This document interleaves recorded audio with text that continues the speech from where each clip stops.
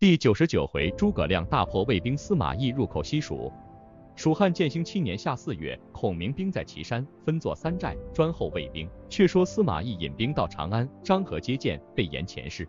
懿令和为先锋，带领为副将，引十万兵到岐山，于渭水之南下寨。郭淮、孙礼入寨参见。懿问曰：“汝等曾与蜀兵对阵否？”二人答曰：“未也。”懿曰：“蜀兵千里而来，力在速战，今来此不战，必有谋也。陇西诸路曾有信息否？”怀曰。已有细作探得各郡十分用心，日夜提防，并无他事。只有武都、阴平二处未曾回报一曰：“吾自差人与孔明交战，汝二人即从小路去救二郡，却掩在蜀兵之后，彼必自乱以二人受计，引兵五千从陇西小路来救武都、阴平，就袭蜀兵之后。”郭淮于路为孙礼曰：“仲达比孔明如何？”礼曰：“孔明胜仲达多矣。”怀曰。孔明虽胜，此一计足显仲达有过人之志。蜀兵如正攻两郡，我等从后抄道，彼岂不自乱乎？正言间，呼哨马来报，阴平已被王平打破了，武都已被姜维打破了，前离蜀兵不远。礼曰：蜀兵既已打破了城池，如何陈兵于外？必有诈也。不如速退。郭淮从之，方传令交军退时，忽然一声炮响，山背后闪出一支军马来，骑上大书。汉丞相诸葛亮，中央一辆四轮车，孔明端坐于上，左有关兴，右有张苞、孙、郭二人见之，大惊。孔明大笑曰：“郭淮、孙礼休走，司马懿之计，安能瞒得过吾？他每日令人在前交战，却叫汝等袭吾军后。武都、阴平吾已取了，汝二人不早来将，欲驱兵与吴决战耶？”郭淮、孙礼听毕，大慌。忽然背后喊杀连天，王平、姜维引兵从后杀来。兴、包二将又引军从前面杀来，两下夹攻，魏兵大败。郭、孙二人弃马爬山而走，张苞望见，骤马赶来，不期连人带马跌入涧内，后军急忙救起，头已跌破。孔明令人送回成都养病。却说郭、孙二人走脱，回见司马懿曰：武都、阴平二郡已失，孔明伏于要路，前后攻杀，因此大败，弃马步行，方得逃回。懿曰：非汝等之罪，孔明志在吾先。可在引兵守把雍、梅二城，切勿出战。吾自有破敌之策。二人拜辞而去。亦又唤张合，带领吩咐曰：今孔明得了武都、阴平，必然抚百姓以安民心，不在营中矣。汝二人各引一万精兵，今夜起身，超在蜀兵营后，一齐奋勇杀将过来。吾却引军在前布阵，只待蜀兵势乱，吾大驱士马攻杀进去，两军并立，可夺蜀寨也。若得此地山势，破敌河南。二人受计，引兵而去。戴陵在左，张合在右，各取小路进发，深入蜀兵之后。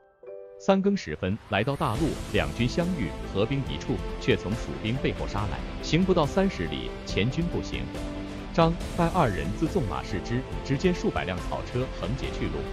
何曰：“此必有准备，可即取路而回。”才传令退军。只见满山火光齐鸣，鼓角大震。伏兵四下皆出，把二人围住。孔明在岐山上大叫曰：“戴陵、张合可听吾言。司马懿料吾往武都，因平土民，不在营中，故令汝二人来劫无寨，却中吾之计也。汝二人乃无名下将，无不杀害，下马早降。”何大怒，指孔明而骂曰：“汝乃山野村夫，亲吾大国境界，如何敢发此言？吾若捉住汝时，碎尸万段。”言讫，纵马挺枪，杀上山来。山上矢石如雨。何不能上山？乃拍马舞枪，冲出重围，无人敢当。蜀兵困戴陵在该心，何杀出旧路，不见戴陵，即奋勇翻身，又杀入重围，救出戴陵而回。孔明在山上见何在万军之中往来冲突，英勇倍加，乃谓左右曰：“常闻张翼德大战张合，人皆惊惧。吾今日见之，方知其勇也。”若留下此人，必为蜀中之害，吾当除之。遂收军还营。却说司马懿引兵不成阵势，只待蜀兵乱动，一齐攻之。忽见张合、戴陵狼狈而来，告曰：“孔明先如此提防，因此大败而归。”亦大惊曰：“孔明真神人也，不如且退。”即传令教大军进回本寨，坚守不出。且说孔明大胜，所得器械、马匹不计其数，乃引大军回寨，每日令魏延挑战。魏兵不出，一连半月不曾交兵。孔明正在帐中思虑，忽报天子遣使中费祎姬召至。孔明接入营中，焚香礼毕，开诏读曰：街亭之役，就有马谡，而君引谦，身自贬义。众为君意，听顺所守。前年药师，国斩王双；今岁爱征，郭淮遁走。将即是羌、复兴二郡，威震凶暴，功勋显然。方今天下骚扰，元恶未消，君受大任，干国之重，而久自易损，非所以光扬宏烈矣。今复君丞相，君其勿辞。孔明听诏毕，谓费祎曰：“吴国是魏成，安可负丞相之职？坚辞不受。”一曰：“丞相若不受职，服了天子之意，又冷淡了将士之心。一切全受孔明方才拜受。”依辞去。孔明见司马懿不出，司的一计，传令叫各处皆拔寨而起。当有细作报之司马懿，说孔明退兵了。懿曰：“孔明必有大谋，不可轻动。”张合曰。此必因粮尽而回，如何不追？亦曰：无料孔明上年大收，今又麦熟，粮草丰足。虽然转运艰难，亦可知无半载，安肯便走？彼见吾连日不战，故作此计引诱。可令人远远哨之军事探之，回报说，孔明离此三十里下寨。亦曰：无料孔明果不走，且坚守寨栅，不可轻进。住了旬日，绝无音信，并不见蜀将来战。亦再令人哨探，回报说。蜀兵已起营去了，亦未信，乃更换衣服，杂在军中。亲自来看，果见蜀兵又退三十里下寨。一回营谓张合曰：“此乃孔明之计也，不可追赶。”又住了旬日，再令人哨探，回报说蜀兵又退三十里下寨。合曰：“孔明用缓兵之计，渐退汉中，都督何故怀疑？不早追之，何愿往决一战？”亦曰：“孔明诡计极多，倘有差失，丧我军之锐气，不可轻进。”合曰。某去若败，甘当军令。一曰：既汝要去，可分兵两支，汝引一支先行，需要奋力死战。吾随后接应，以防伏兵。汝次日先进，到半途驻扎，后日交战，使兵力不乏，遂分兵以避。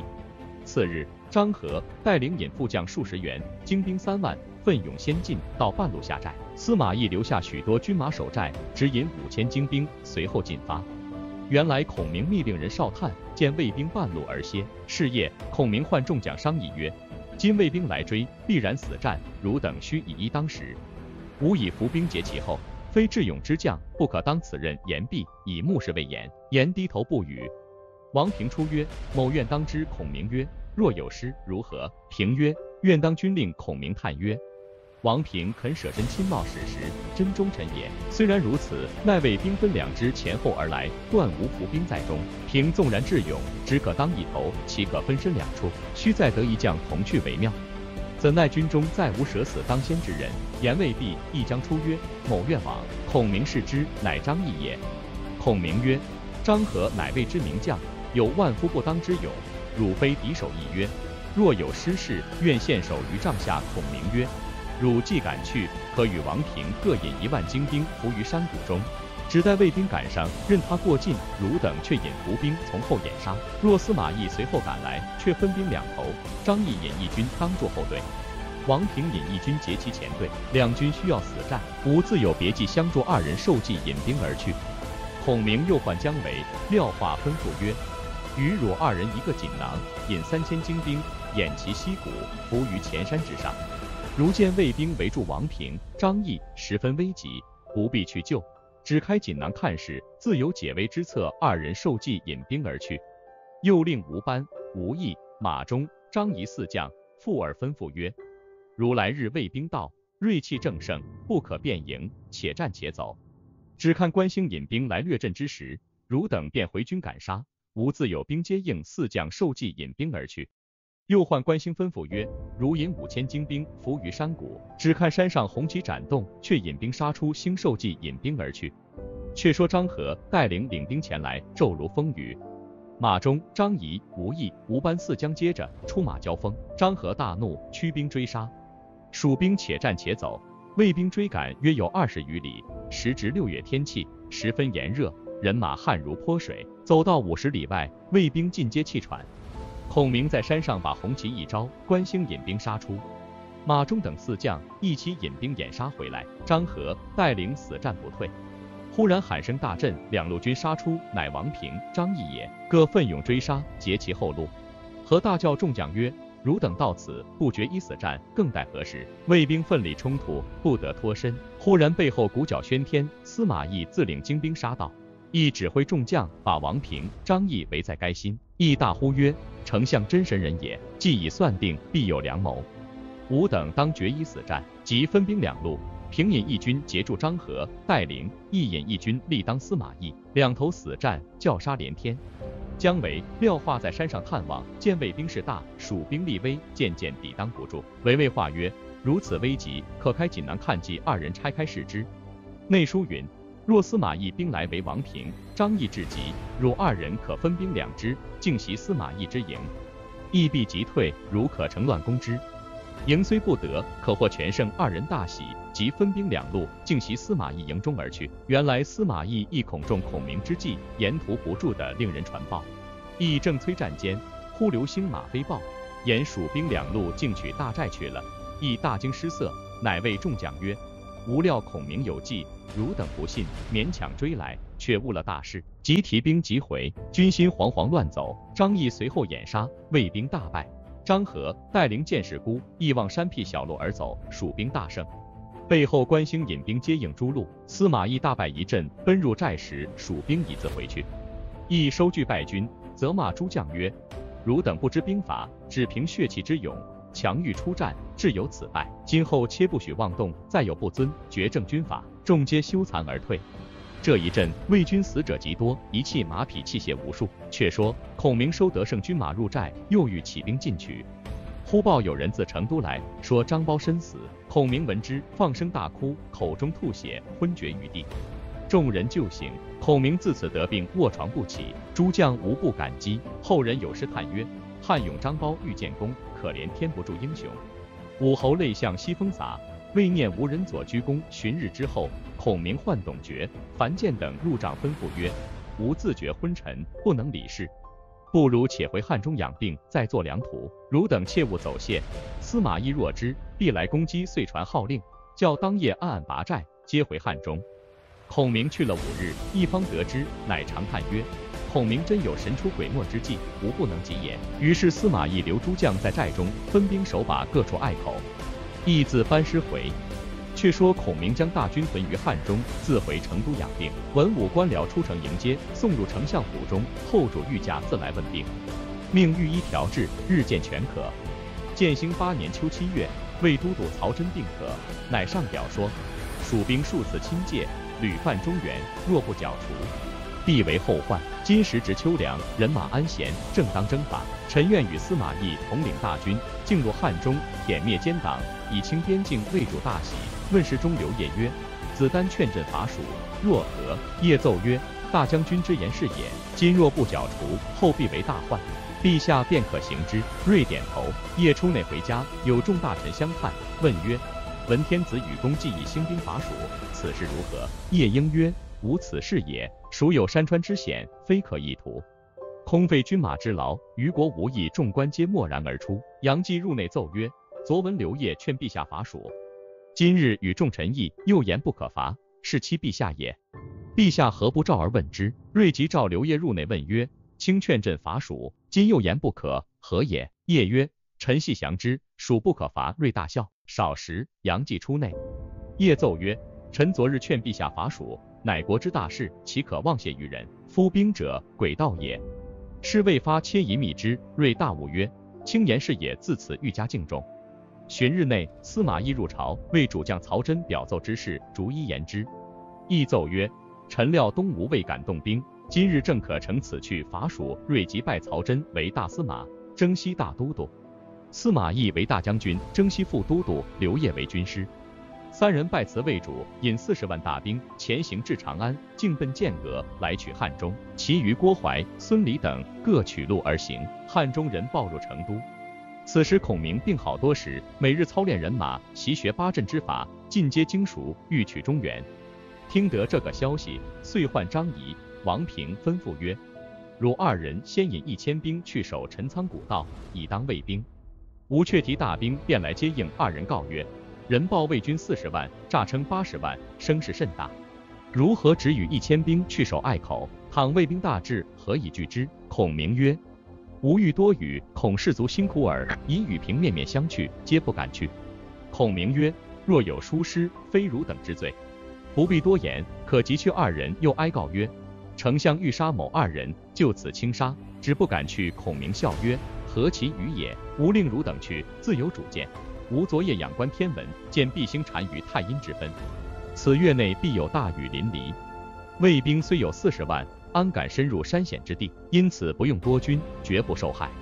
吴将大军皆在汉中安居一月，待魏兵退。那时以大兵掩之，以逸待劳。吾十万之众，可胜魏兵四十万也。二人听毕，方大喜，拜辞而去。孔明随统大军出汉中，传令叫各处隘口预备干柴、草料、细粮，俱购一月人马之用，以防秋雨。将大军宽限一月，先给衣食，伺候出征。却说曹真、司马懿统领大军，竟到陈仓城内，不见一间房屋。寻土人问之，皆言孔明回时放火烧毁。曹真便要从陈仓道进发，懿曰：不可轻进。我夜观天文，见毕星单于太阴之分，此月内必有大雨。若深入重地，长胜则可；倘有疏雨，人马受苦，要退则难。且宜在城中搭起窝铺驻扎，以防阴雨。真从其言。未及半月，天雨大降，淋漓不止。陈仓城外平地水深三尺，军器尽失，人不得睡，昼夜不安。大雨连降三十日，马无草料，死者无数，军士怨声不绝。传入洛阳，魏主设坛求情不得。黄门侍郎王肃上书曰：前至有之，千里馈粮，事有饥色。乔苏后窜，师不速保，此为平图之行军者也。又况于深入险阻，凿路而前，则其为劳，必相百也。今又加之以淋雨，山坂峻滑，重逼而不斩，粮远而难继，实行军之大计也。闻曹真发以逾越，而行方万古，至道功大，战事希作，是彼偏得以逸待劳，乃兵家之所惮也。言之前代，则武王伐纣，出关而复还；论之近世，则武文争权，临江而不济，岂非顺天之时，通于权变者哉？愿陛下念水与艰巨之故，修习士卒。后日有信，诚实用之。所谓月以犯难，民望其死者也。魏主览表，正在犹豫。杨父华歆递上书见。魏主即下诏，遣使召曹真、司马懿还朝。却说曹真与司马懿商议曰：今连阴三十日，均无战心，各有思归之意，如何禁止？懿曰：不如且回。真曰：倘孔明追来，怎生退之？懿曰：先伏两军断后，方可回兵。正义间，忽使命来召。二人遂将大军前队做后队，后队做前队，徐徐而退。却说孔明计算一月秋雨将近，天上未晴，自提义军屯于城固，又传令叫大军会于赤坡驻扎。孔明升帐唤众将言曰：吾料魏兵必走，魏主陛下诏来取曹真、司马懿兵回，吾若追之，必有准备，不如任他且去。再做良图。呼王平令人报来，说魏兵已回。孔明吩咐来人传与王平，不可追袭。吾自有破魏兵之策，正是魏兵纵使能埋伏，汉相原来不肯追，未知孔明怎生破魏？且看下文分解。